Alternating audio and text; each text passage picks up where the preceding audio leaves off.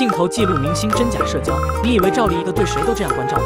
大多数时间她在台下都是一个人，不知道是被排挤还是不想合群，她身边的氛围总是怪怪的，因此还被网友称为赵氏孤。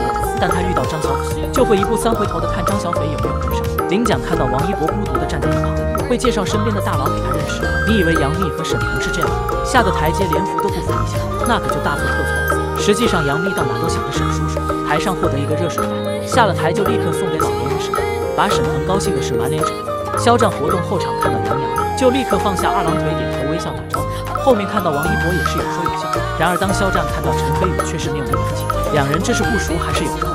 王一博和大鹏走红毯，王一博一眼没看见大鹏就惊慌失措，腼腆的和各位前辈打个招呼，就安静的站在一旁。而周深上一秒还和周笔畅、张碧晨聊得开心，下一秒看到李晨马上就送上一个大大的拥抱，之后看到魏晨也连忙握手，这不妥妥的社交小能手吗？大鹏看到徐峥，直接上手摸了摸对方光滑的脑袋，可以证明两人关系很不错。李沁和宋茜坐在一起，两人全程冷漠无话可说，但李沁和迪丽热巴很好，两人隔着一个座位都能聊得热火朝天。原来明星社交也是要分人的，明星没有边界感有多下头？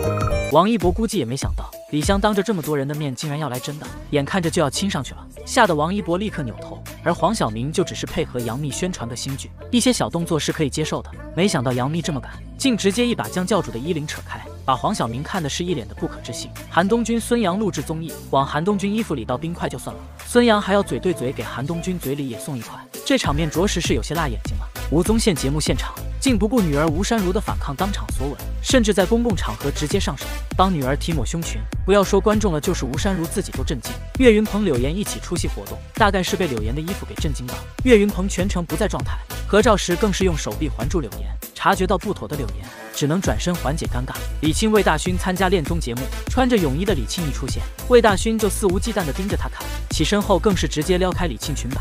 这是真的魏大勋吗？好不容易和吴京同框一次，只见女粉丝第一次想挽胳膊失败，贼心不死，竟还想挽第二次，结果被吴京当众拒绝，径直走开，一点情面都不留。许晴出席活动就像是发现新大陆一样，全程含情脉脉地盯着张翰看。作为阿姨级别的人，这样直勾勾地盯着小鲜肉，眼里的深情毫不掩饰，这样不好吧？没有奇葩，只有更奇葩的红毯造型。张雨绮一袭橘色战袍闪耀登场，要是换做其他人穿，估计根本驾驭不了。但穿在张雨绮身上就毫无违和感。吴越一袭粉色纱裙走上红毯，礼服正式又不失俏皮。可这发型是怎么回事？这是刘海没剪好，还是造型师想靠丑来出奇制胜？小 S 走红毯好像就没有正常过。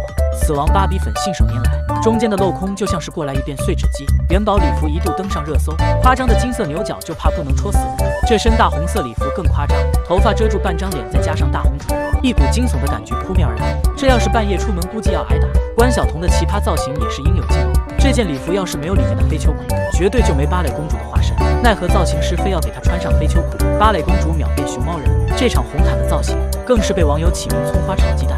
头重脚轻，就算了，这个配色也是绝了。还有这件粉色礼服，一个不到二十岁的女孩，硬是被打扮的老气横秋的。张韶涵演唱会上，这头顶黑色皇冠、黑红皮衣的造型，看起来就像某个不知名生物。确定这不是在演灾难片？黄奕走红毯，穿一件黑色运动风礼服，这大大的肩膀像极了双开门冰箱。不得不说，他是懂得宽肩窄腰的。戚薇这礼服是穿个竹筒就上场了吗？这奇葩造型也就戚薇能驾驭了，这霸气的眼神感觉能秒杀全场。